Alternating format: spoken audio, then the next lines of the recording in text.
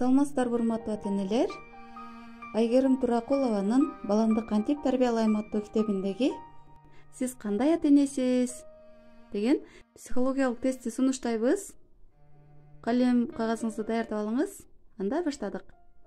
Сиздин балаңыз мектептен бир күнү көзүн көгөртүп кээде шымын айрып келет. Буга сиздин мамилеңиз.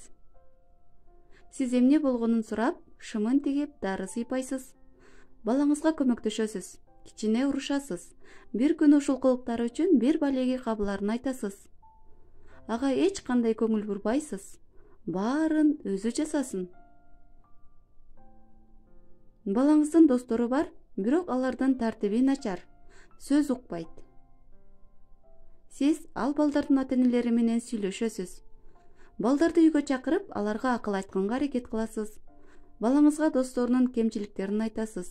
Аларды туурабаш керек деген үлгүлүү балдар эмес экенин түшүндүрөсүз. Балаңыз ойногонду жактырат. Бирок жеңилгенди жактырбайт. Такыр аракет кылбайсыз.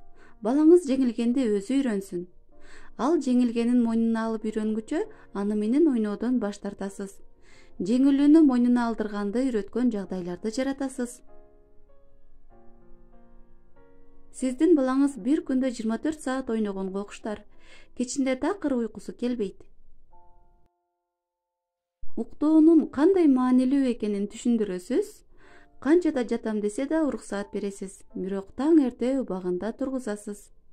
Төшөгүнө белгиленген убакытта жаткырып жалгыз калтырасыз.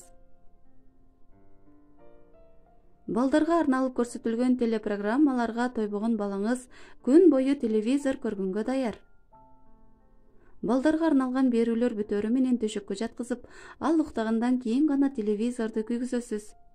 Ага эмнени көрүүгө болорун жана эмнелерди көргөнгө болбосун түшүндүрөсүз. Балаңыз үчүн айрымдарын кошо көрөсүз. Балаңыз чоңдордун сөздөрүнө көп аралашат. Бул адатынын жаман экенин түшүндүрөсүз. Укпаганы үчүн жазалайсыз. Сиздин балаңыз жашы кичине болсо деле бирөөгө ашык болуп калды. Баарын ошол бойдон калтырасыз. Балалык сүйүүгө жол бербейсиз.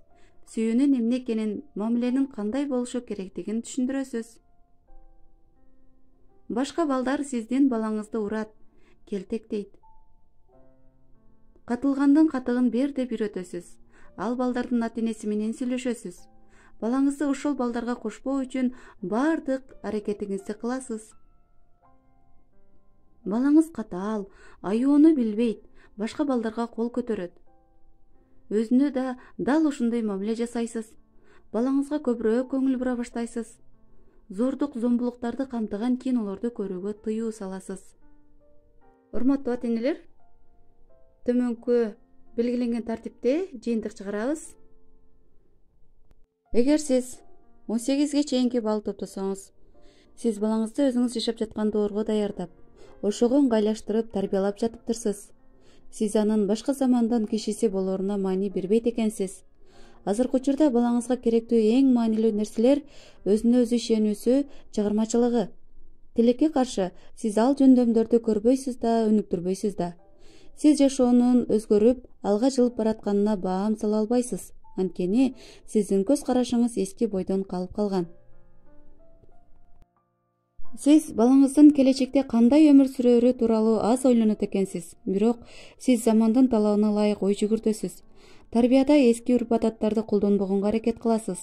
Балаңызга туш келген кыйынчылыктарды өз алдынча чечүүнү үйрөтүп келесиз. Ага жеткиликтүү түрдө эркиндик бергенсиз. Өзүңүзгө баш ийдиргенге аракет деле кылбайсыз. Бирок алида турмуш жолуна даярдооңуз жеткиликтүү эмес сиз балаңыздын өз алдынча ойлонуусун өнүктүрүңүз жакшылап көңүл буруңуз. Ошондо гана балаңызда ар нерсеге карата жеке көз карашы калыптанат. Сиз балаңыздын мээримдүүлүгү жана адилеттүүлүгү басымдуураак болгон. Акылдуу ойлуу ачык айрым башканын пикирин сыйлап өзүмчүлдүктү жаман көргөн турмушта жашаарына ишенесиз.